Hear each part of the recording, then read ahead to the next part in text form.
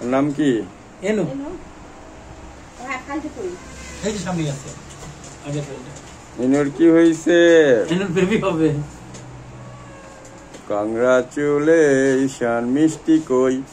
মিষ্টি ছাড়া আইছে কালে কেমনে একটা ব্যস্তা দিতে তো হইব করে পাঁচটা হইলে একটা ডাক্তারে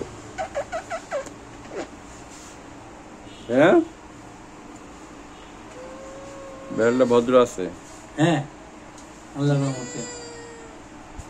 আর এরকম মেয়ে মেয়ে করে এই করে একদম পুরা চঞ্চল একটা জীব যে সে নির্জীব হয়ে গেছে। প্রেগনেন্ট হয়েছে? প্রেগনেন্ট তো আগে হয়েছে ওর তো টাইম হয়ে গেছে।